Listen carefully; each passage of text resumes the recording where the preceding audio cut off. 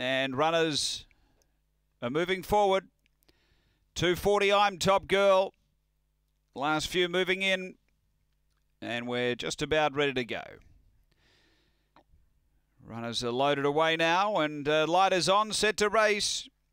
Race three, ready here at Angle Park on their way. Gee, have a look at the pace of Woodworm. Came out really running.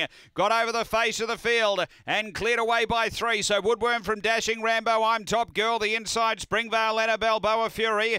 Then Mr. Kingswood and Barmer McLaren. Midway between turns, the leader is Woodworm being tackled by Dashing Rambo. Slipping up on the rail. Getting on heel slightly. I'm top girl. Out wider is uh, Balboa Fury making ground. Railing through next Springvale Anna. But Dashing Rambo's away and gone. And Dashing Rambo goes on to win. Woodworm second, Balboa Fury third. Uh, then came Springvale Anna. Next is I'm Top Girl from Barmer McLaren. And Mr. Kingswood back at the end. The time here is around 30 seconds.